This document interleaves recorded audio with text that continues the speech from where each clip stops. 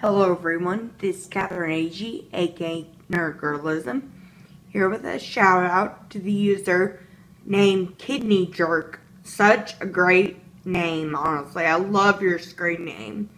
Um, saying my lunch sounds awesome to keep my spirits up.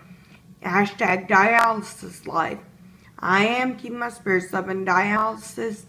The nurses are always funny. They always have something nice to say or something educational from me. Like, I do not know for some reason until very recently that salad, lettuce, is 90% water.